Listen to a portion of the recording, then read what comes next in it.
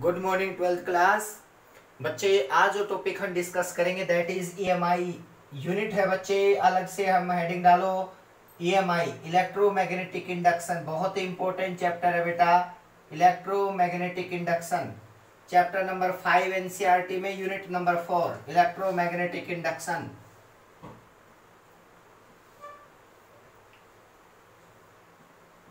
बेटा electromagnetic induction में सबसे पहले हम क्या क्या चीज़ें डिस्कस करेंगे? देखो बेटा।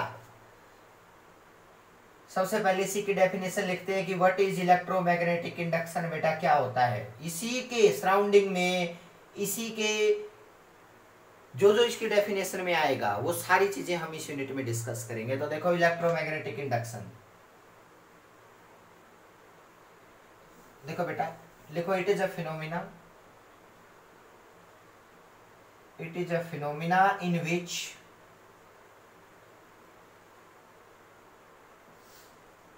in which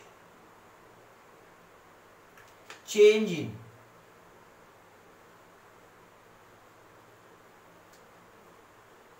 magnetic field line change in magnetic flux अभी बताऊँगा क्या होती है magnetic flux it is a phenomena in which change in magnetic flux produce a induced current or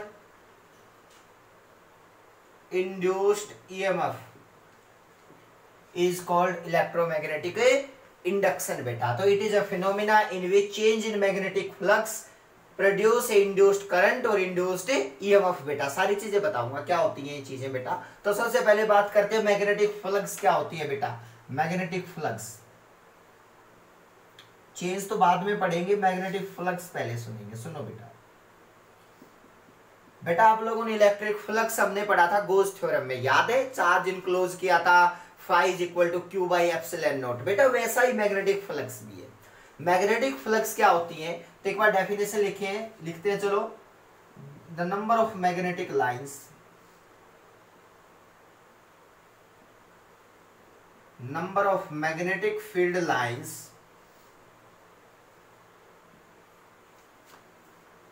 passing through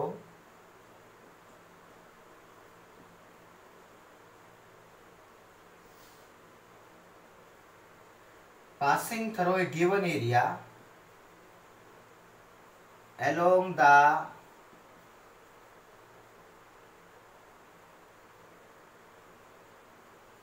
normal बेटा। अलोंग द नॉर्मल ये बहुत बहुत important बात है, बेटा, कि number of magnetic lines passing through a given area along the normal is called magnetic flux बेटा। Is called magnetic flux बेटा। तो सुनना, क्या होता है?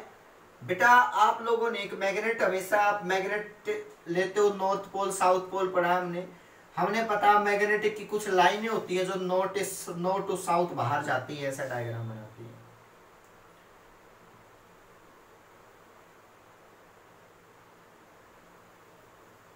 ये फ़ील्ड लाइन डायग्राम होता है, जिसकी अंदर डायरेक्शन होती है साउथ टू नॉर्थ और बाहर होती है नॉर्थ टू साउथ आउटवर्ड बच्चे। ये आप लोगों को, आप लोगों ने पता है बेटा। ये मैग्नेटिक लाइंस होती हैं मैग्नेटिक लाइंस होती है। अगर बेटा मैं कोई भी यूनिट एरिया बना लेता हूँ, कोई भी कोई भी एक एरिया बना लेता हूँ, बेटा इसके अंदर से number of magnetic lines count करता हूँ, जिससे टू पास हो रही है। बेटा इन टू लाइंस को हम बोलते हैं मैग्नेटिक फ्लक्स क्या बोलते हैं मैग्नेटिक फ्लक्स याद रखना, ये बात यहाँ पे भी एक एरिया बना लेता हूँ मैं। यहाँ पे भी मैग्नेटिक लाइंस जो पास हो रही हैं, वो क्या बोली जाती है? मैग्नेटिक फ्लक्स बोली जाती है, बेटा। लेकिन कंडीशन ये होनी चाहिए कि मैग्नेटिक लाइंस जिस डायरेक्शन में जा रही है ना बेटा नॉर्मल भी उसी डायरेक्शन में होना चाहिए, उस एरिया का बेटा। अगर आपको लगे ना कि सर मैग्नेटिक लाइंस जो है ना, यहाँ में, यहाँ मैग्नेटिक लाइंस है, यहाँ में एक ऐसा एरिया बना दू, ये वाला बेटा। याद रखना, ये मैग्नेटिक लाइंस ऐसे जा रही है बेटा, ये ऐसे जा रही है, ये डायरेक्शन है बेटा टेंजेंट ये ऐसे जा रही है। तो पता चले कि ये मैग्नेटिक नॉर्मल का एरिया ऐसे है, बेटा नॉर्मल ऐसे है इस एरिया का। देखो बेटा नॉर्मल तो ऐसे ही बनेगा ना सरफेस एरिया का नॉर्मल है बेटा। तो क्या हो गया? हमें पता चला, नहीं सर, ये तो कुछ एंगल पे गई। तो इसका मतलब ये मैग्नेटिक फ्लक्स जो है ना, ये कंप्लीट मैग्नेटिक लाइंस नंबर ये नहीं माना जाता बच्चे।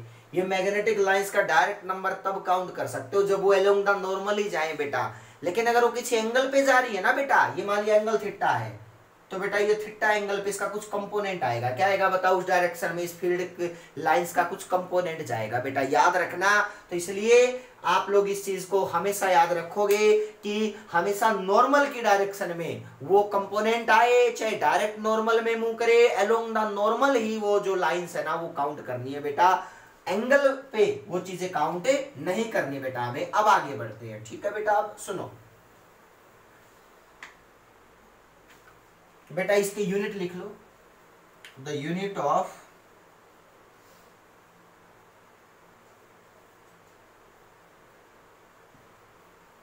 S I unit है बेटा। वेबर एंड सीजीएस यूनिट बेटा मैक्सवेल वगैरह। एंड सीजीएस यूनिट मैक्सवेल होती है बेटा। ये आप लोग याद रखोगे। बेटा, इसको इट इज़ ए सिंबल जो होता है, उसका it is denoted by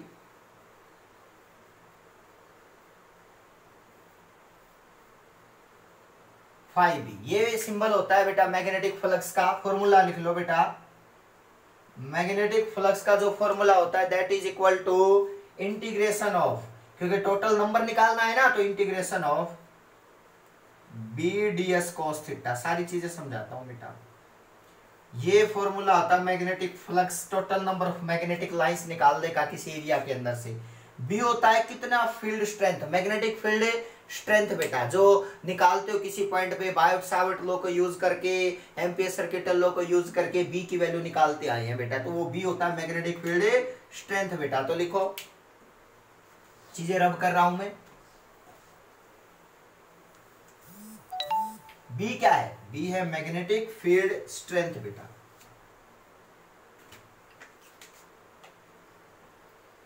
B है magnetic field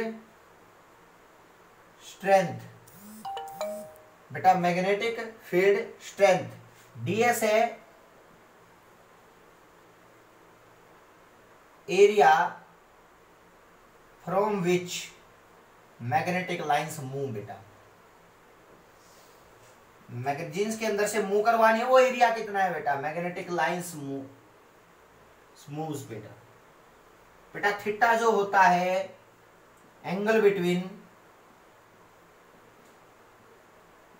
magnetic field strength, जो आप लोग बायोट शावर्ट लो वगैरह में पढ़ चुके हो, डायरेक्शन वगैरह, magnetic field strength and right Maxwell right and thumb rule बेटा, जो बताता है बी की direction. Angle between magnetic field strength and area vector बेटा। एरिया का जो नॉर्मल है, उसके बीच का एंगल थीटा ये बहुत इंपॉर्टेंट चीज़ें हैं, बेटा।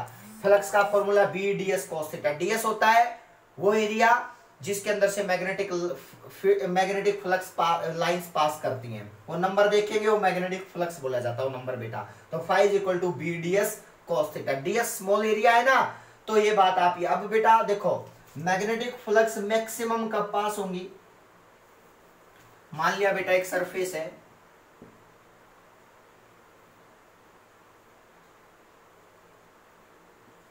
इसका नॉर्मल एरिया का नॉर्मल मान लिया अपवर्ड परपेंडिकुलर बेटा। मैग्नेटिक फ़ील्ड इधर ऐसे लाइन ऐसे निकल रही है बेटा इस डायरेक्शन में, ये भी। तो बेटा ये तो ये मैग्नेटिक फ़ील्ड लाइंस जो है ना, वो नॉर्मल के अलोंग क्या करवानी पड़ेगी?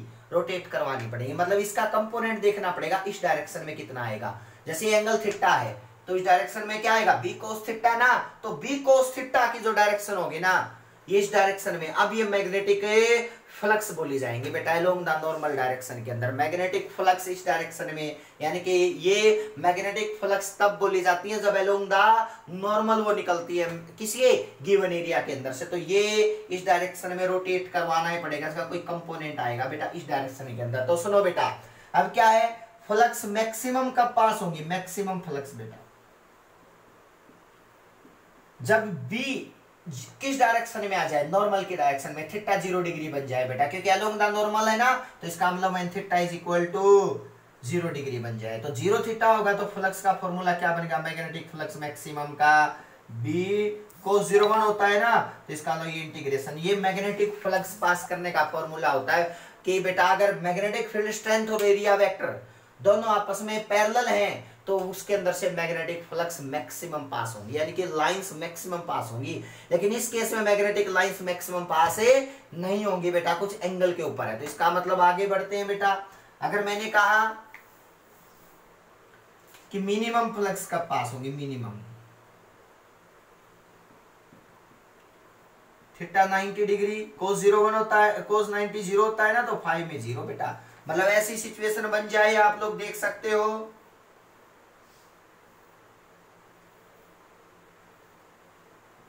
एरिया वेक्टर ऊपर हो बेटा, मान लिया मैग्नेटिक फ्लक्स इधर जा रही हो। मतलब इस डायरेक्शन में लाइनें निकल रही हो तो थीटा कितने डिग्री 90 तो एक भी लाइन पास नहीं होगी बेटा, इस एरिया के अंदर से। तो ये बात आप लोग याद रखोगे कि किस डायरेक्शन में कैसे मैग्नेटिक फ़ील्ड लाइंस कितना एंगल होना चाहिए बेटा। तो देखो मैग्नेटिक फ्लक्स चेंज होती हैं, तभी क्या होता है बताओ? तभी इंड्यूस्ड ईएमएफ या इंड्यूस्ड करंट प्रोड्यूस होता है बेटा। देखना ध्यान से, सारी चीज़ें सिखाऊँगा। इंड्यूस्ड करंट और इंड्यूस्ड ईएमएफ कब प्रोड्यूस होंगे? जब मैग्नेटिक फ्लक्स चेंज होंगे बेटा। मैग्नेटिक फ्लक्स चेंज होगी। ये फ्लक्स बेटा। BDS cos theta BDS cos theta तो ये जर्नल फॉर्मूला तो यही होता है ना। फाई का। Phi equal to BDS cos theta तो देखो बेटा, अगर फ्लक्स चेंज करनी है तो आपको तीन चीज़ें याद रखनी पड़ेंगी जिन पे फ्लक्स डिपेंड करती है।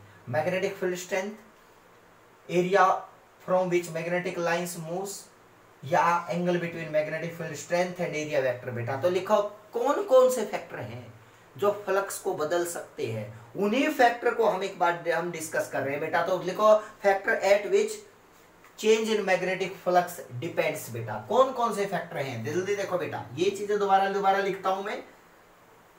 Factor at which factor at which magnet change in magnetic flux depend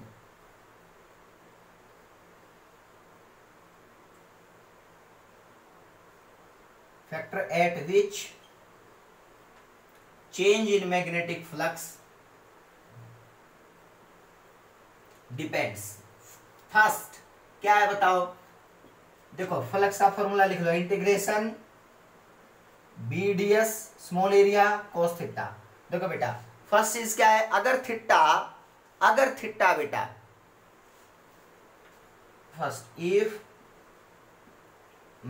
B बदल जाए बेटा मैग्नेटिक स्ट्रेंथ विल चेंज बेटा, फ़र्स्ट। तो भी फ्लक्स चेंज होगी बेटा। बी बदलेगा तो फ्लक्स बदलेंगे बेटा।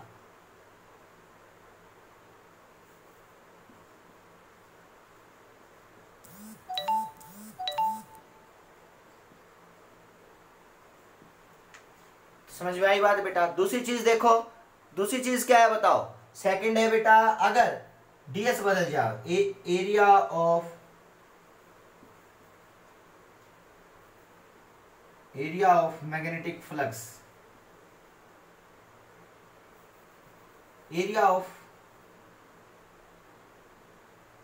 surface will change direct ये लिख लो बेटा सरफेस विल चेंज ठीक है बेटा? डीएस बदल जाए स्मॉल एरिया श्रिंक हो जाए एलोंगेट हो जाए, जो भी है बेटा, वो आप लोग डिपेंड कर एरिया कितना लेते हो। आप उसको अचानक से क्या कर देते हो? श्रिंक कर देते हो, वैसे कैच करके उसको। तो उसके अंदर से लाइनों की स्ट्रेंथ क्या होगी? डिक्रीज या इंक्रीज बेटा, आप पे डिपेंड करता है। श्रिंक करते हो एलोंगेट करते हो तो थर्ड फैक्टर है बेटा, ये फैक्टर बेटा angle between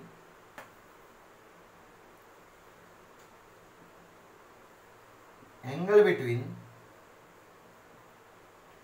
B and area vector बेटा एरिया वेक्टर नॉर्मल के डायरेक्शन माना जाता है एरिया वेक्टर बेटा area vector angle between B and area vector will change बेटा तो भी मैग्नेटिक फ्लक्स बदल सकती है। लो भाई। हमें ये पता चल गया कि इंड्यूस्ड ईएमएफ कैसे प्रोड्यूस की जा सकती है। इनमें से एक फैक्टर बदल दो बेटा। फ्लक्स बदल जाएँगे ना करंट आ जाएगा। मतलब इंड्यूस्ड ईएमएफ आ जाएगी। अब इंड्यूस्ड ईएमएफ क्या होती है? वो सारी एक डिटेल टॉपिक है जो मैं बताऊँगा आपको। तो फ्लक्स को बदलने के तीन वे हो सकते हैं। एंगल बदल दो, एरिया को कम ज़्यादा कर दो या मैग्नेटिक स्ट्रेंथ को चेंज कर दो। फ्लक्स बदल जाएँगी किसी एरिया के अंदर से, पास होने वाली लाइंस का नंबर बदल जाएगा, बेटा कम ज़्यादा हो जाएँगी वो। और वही किसका रीजन बनती है? इंड्यूस्ड करंट या इंड्यूस्ड ईएमएफ का बेटा। ये बात आप याद रखो। अब आगे बढ़ते हैं बेटा, सुनना ध्यान से। अगर मैं कहूँ कि भाई देखो, ये सारी बातें एक साइंटिस्ट था, फेराडे बेटा। फेराडे ने क्या बताया? उसने फ्लक्स के बदलने के साथ ईएमएफ का एक रिलेशन बताया इंड्यूस्ड ईएमएफ का बेटा। तो लिखो Faraday law of electromagnetic induction बेटा। Faraday law of electro magnetic induction सुनना बेटा फेराडे ने क्या बताया? फ़र्स्ट दो लो दिए बेटा फेराडे ने यही बताया, फ्लक्स के बदलने से ईएमएफ क्या करती है, वो सारी चीज़ें बेटा। तो फ़र्स्ट देखो बेटा फ़र्स्ट उसने जो फेराडे फ़र्स्ट लो बेटा फेराडे फ़र्स्ट लो। उसने डायरेक्ट डेफिनेशन लिख दी बेटा, उसने क्या लिखा, उसने कहा देखो change in magnetic flux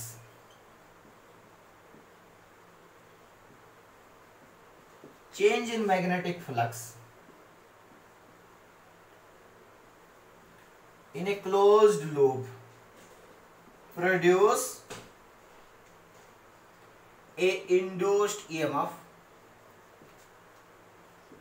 EMF और इंड्यूस्ड करंट बेटा, देखना बेटा, ये सारी चीज़ें आगे आएँगी इंड्यूस्ड करंट मतलब उसने जो इलेक्ट्रोमैग्नेटिक इंडक्शन की डेफिनेशन थी ना अपने नाम से बना ली Faraday first law change in magnetic flux in a closed loop produce induced EMF और इंड्यूस्ड करंट बेटा मैग्नेटिक फ्लक्स पता चल गया ना क्या होती है? वो चेंज हो जाए। इन तीन फैक्टर चेंज में से एक भी फैक्टर हो जाए तो वो बदलेंगे बेटा फ्लक्स तो सेकंड स्टेटमेंट क्या फेराडे की? Faraday second law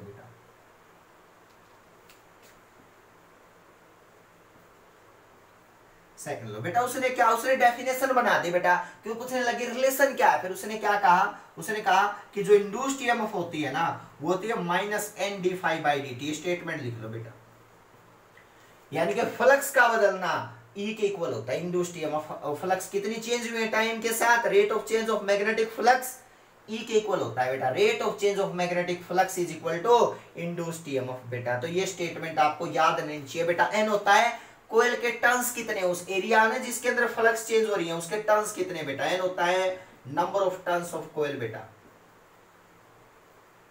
ये इसकी स्टेटमेंट भी आप नोट कर लेना बेटा। Number of turns of coil तो induced EMF is equal to rate of change of magnetic flux बेटा। ये डेफिनेशन लिख लेना साथ में। अब is equal to minus N D five by D T negative sign क्या दिखाता है? नेगेटिव साइन दिखाता है। Negative sign show that induced EMF oppose induced ये बहुत इंटरेस्टिंग बात है बेटा। ओपोज द चेंज इन क्या चेंज करता है बताओ? Oppose the change in magnetic flux बेटा, याद रखना। फ़र्स्ट लो तो कहता है मैग्नेटिक फ्लक्स चेंज जब होंगी तो ईएमएफ पैदा होगा। सेकंड स्टेटमेंट कहता है कि जब वो ईएमएफ पैदा हो जाएगी तो वो फर्दर फ्लक्स चेंज को अपोज करती है। मतलब दोबारा से उसको चेंज होने से रोकती है। क्यों चेंज हो रही है? तो इसलिए माइनस साइन लगा दिया। देखो बेटा, ये अपनी बात में कॉन्ट्राडिक्शन फ़र्स्ट स्टेटमेंट कि फ्लक्स चेंज करने से ईएमएफ प्रोड्यूस होती है। सेकंड है ईएमएफ प्रोड्यूस जो होती है ना, वो फ्लक्स चेंज को अपोज करती है। देखो साइन क्या आ गया? माइनस का minus N D five by D T तो एन होता है नंबर ऑफ़ टर्न्स कितने हैं कोयल के जिसमें अंदर से फ्लक्स चेंज हो रही हैं?